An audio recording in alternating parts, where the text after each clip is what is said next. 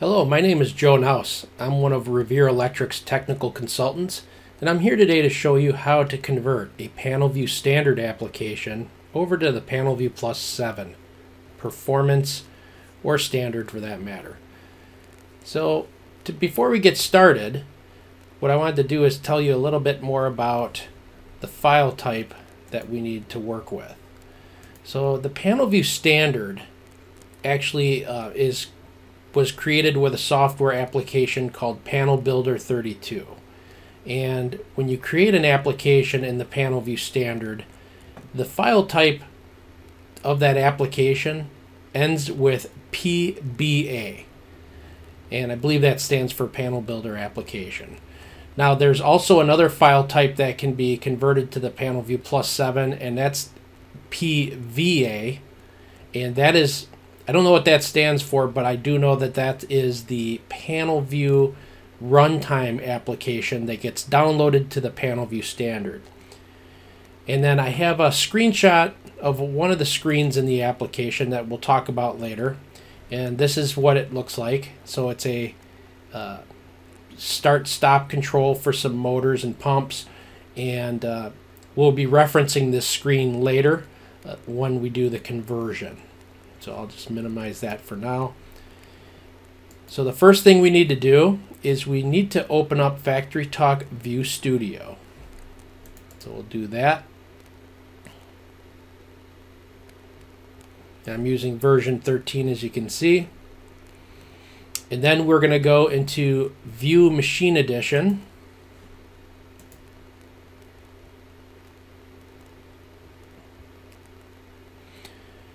And our next step is to actually create a new application. So here we're going to click on the tab up at the top called New. And we're going to give it a name. I'll start with conversion. I'll just use that. And then down here we'll have English as our language. And the resolution we will choose, since the application we currently have is a 10 inch, I'm going to stick with the 10 inch in the PanelView Plus 7 standard and performance. And then there's a checkbox or a radio button here to where you have to tell the application what what type of terminal you're going to be running this on. The 7 performance obviously as the name implies is a terminal that actually has fewer limitations. It can actually have many more screens than the 7 standard. I believe at the current time the PanelView Plus 7 standard can have a total of 100 screens and it can talk to one controller, whereas the 7 Performance can talk to multiple controllers, and the screen limit isn't 100 screens. Uh, it's basically only limited by memory. So for this example, we'll use the 7 Performance. Now instead of hitting Create, we're going to hit Import.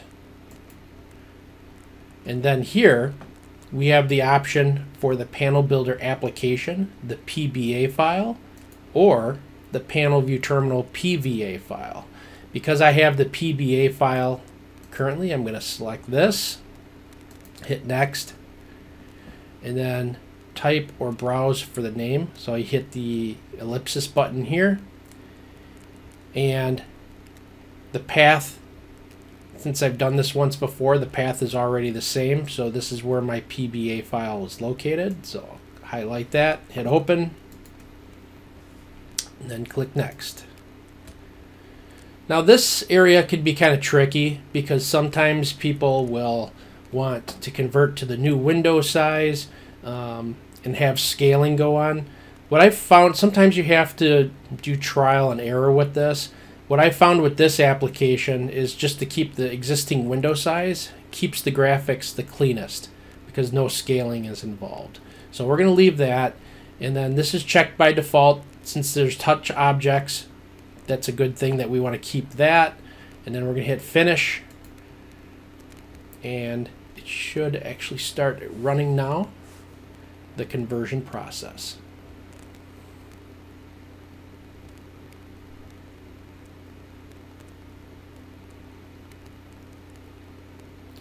Again, this conversion process is going to be bringing in screens, tags, alarms if there are alarms, and so forth.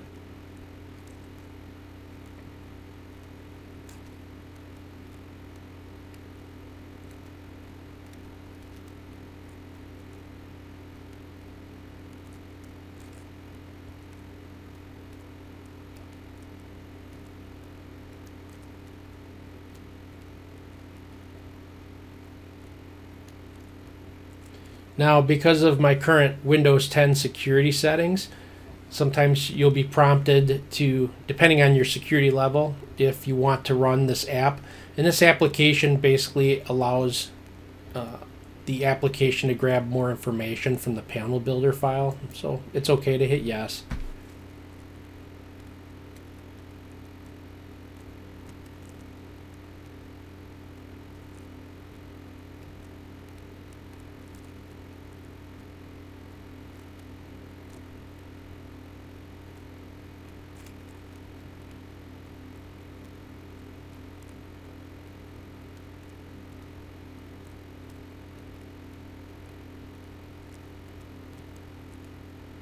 All right, so the conversion completes.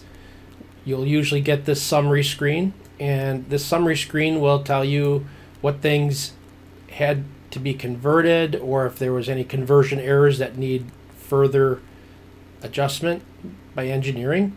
But it looks like on most of these screens, they took a display object that's not in the PanelView Plus 7 you know development software and it converts it to a multi-state indicator. So this object is very similar to the old message display object. So that that's not a big deal. And then at the end, it actually shows where the convert conversion log is located if you want to review it later. So we'll hit OK. Now at this point, if I expand displays, we'll look at the we'll look at the um, motor screen that we looked at earlier. I believe that was motor screen one. And again, this is what it would look like after the program is converted. So it looks pretty much the same. Again, this will help operators um, use the same everything's laid out the same as before so it'll be easy for them to continue using the new screen with the old application. So at this point what I wanted to do is just show you again um, kind of how it works under the hood here. So if I look at this stop motor 2 object and I double click on it all the tag references are tied to this tab called connections. So if I open this, you'll see there's this B55-273 with a bidirectional arrow. That means it is written to the processor and then it's also read back from the processor. And then the indicator just shows the arrow pointing to the left, which means it's being read by the panel view from the processor. And again, same address B55273. Now if I look, I can go into tags now and look up B55273.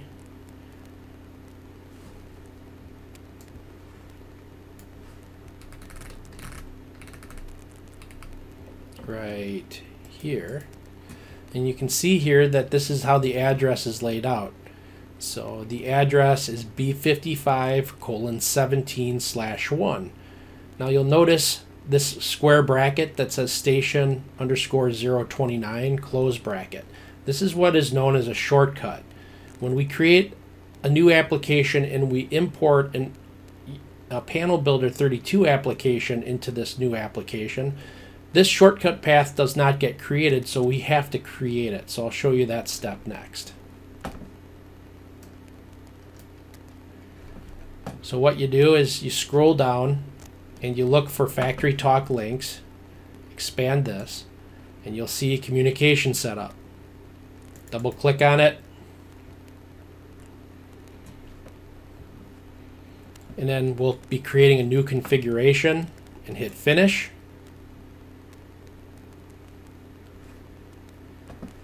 Then here under device shortcuts, we hit add. And we type in station 029. And then over here, there's two tabs, design or local and runtime target. Design local is the path that your development PC takes to communicate with a processor so you can test your screens out prior to downloading and creating your runtime application. And then the runtime target is what the panel view plus 7 terminal will use to communicate with the processor. When it's Ethernet, it's it's the same path most in most situations. So here I'm going to since I'm not connected to the Ethernet with my processor, you can still create it offline by right clicking and saying add a device. And then in this situation, the old the, the old terminal was communicating with a SLC 505. So I'm going to go into SLC devices and I'm going to choose the processor right here. Hit OK. And then assign it the IP address that the processor has. So again, I'm just going to use um, like this would be like the IP address that's in the processor itself. So it looks like I got to use a different address. Okay, there we go. Then when you highlight station 29, you should be able to see the processor highlighted as well. And then hit apply. And it'll say, do you want a new path? We say yes. Then we can hit copy from design to runtime, which means we'll take this path to this processor and move it over to the runtime target as well to save time.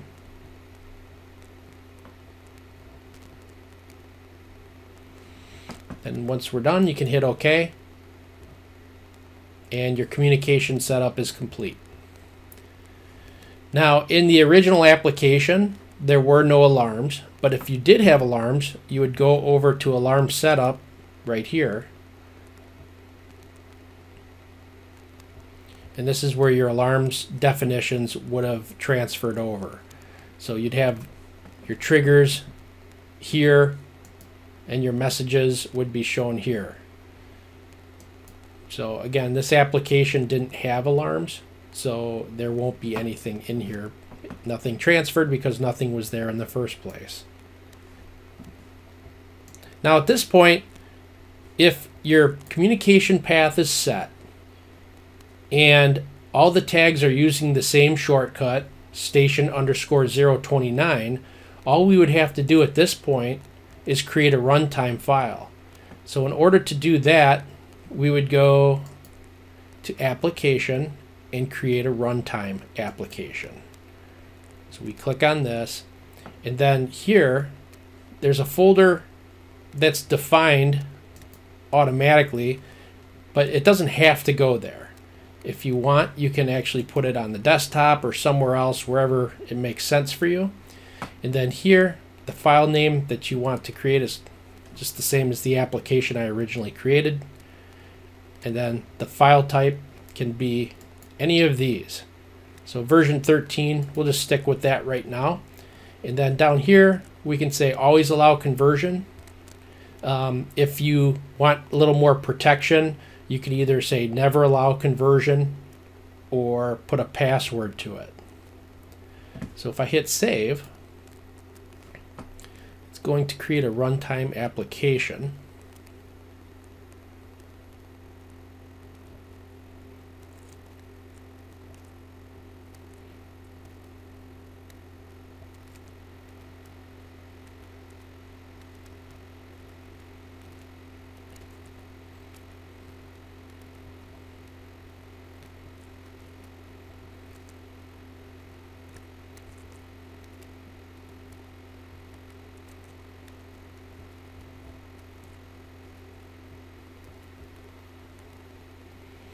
Once you see all the displays uh, above drop out, the conversion pro the, the conversion to the runtime file is complete.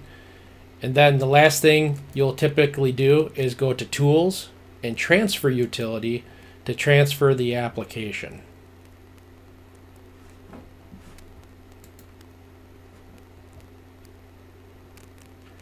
And again, you would pick the ellipsis right here. You'd have, make sure you're on the download tab you'd click on the ellipsis button and then in our case you'd have to go to desktop to highlight the file that we created and we hit open then I like just making sure download as we use the same name and then we make sure that internal storage is set you check, I like checking this as well, run application at startup when application runs and replace communications.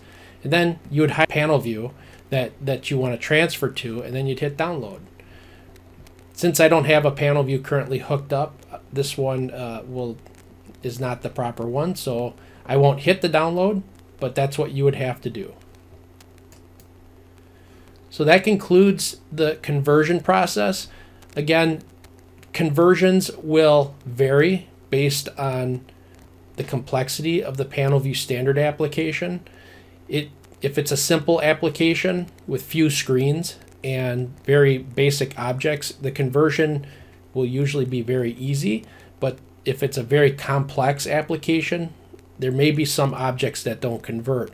So again, this application conversion process is a good way of checking to see how involved it would be to convert a panel view standard to a panel view plus 7. If you have any questions, feel free to reach out to Revere Electric. We have multiple specialists in the PLC HMI software group that can help you with your conversion needs. Thank you have a great day.